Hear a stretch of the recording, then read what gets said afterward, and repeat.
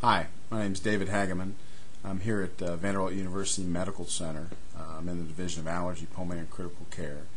And in conjunction with Michael Vaezi and Gaelyn Garrett, I'm uh, going to describe our study, Proton Pump Inhibitor Therapy, uh, improves symptoms of postnasal drainage. As a group, do a great deal of, of chronic cough. And, and absolutely, we feel that, that reflux uh, plays a big role in, in chronic cough. So we became interested to see if uh, there was a, a, role for allergic or for uh, uh, reflux disease in in postnasal drainage.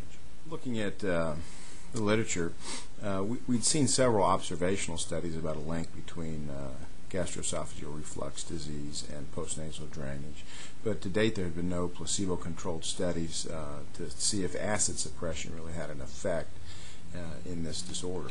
So, um, our, our aim was to see if, if uh, giving these folks uh, enough uh, PPI over time uh, would make a difference, uh, not so much in their stomach symptoms, but in their nasal symptoms.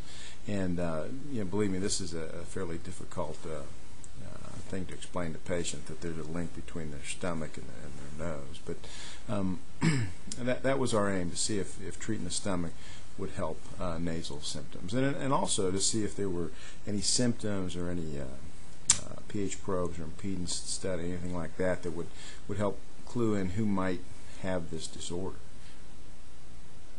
Patient uh, selection was really important in our study. We went to great lengths to make sure we weren't trying to treat allergic rhinitis or sinus infections with proton pump inhibitors. So our exclusion criteria was very important. Um, these patients were not allergic. They did not have sinus infections. And I think that that pure patient population was uh, uh, key to make sure that we were looking at, at just the, the, right group of patients. Once the patients were selected, there was a uh, two to four week uh, run-in period, during which time um, the, both impedance and pH monitoring uh, was done off uh, PPIs. Uh, in addition, the, the three um, quality of life measures were, were done. Um, and then those were repeated. all all those things were repeated at both the two and the and the four month uh, time period. The results were uh, were interesting in that there was a significant difference at both the two and the four month um, in the, the, um, the, specifically in the SNOT uh, 20, which is a uh, validated uh, sinus nasal outcome test of 20 very specific questions about uh, sinus and nasal um, disease that, that showed a significant difference between those treated with uh, twice a day uh, PPIs versus those that, that, that were uh, given placebo. So this is a uh, global symptom response um, depiction of the significant uh, difference between lansoprazole um, group in the medium symptom improvement percentage on the left-hand side.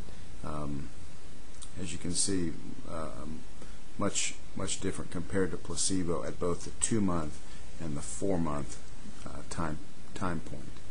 That our secondary aims uh, were not positive, and so we, we were unable to identify any symptom or uh, a pH monitoring or impedance monitoring that determined who, uh, who who would get better with this medication and who would not. So there was no difference between the two groups uh, in, in any of those.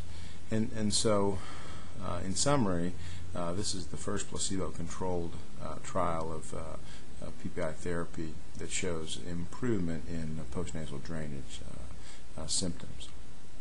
So I think this is um, an important study, one that, that certainly has changed the way that we, we practice. we now know that, that symptoms aren't going to tip us in, tip us off as to who may have uh, postnasal drainage or rhinitis-induced drainage.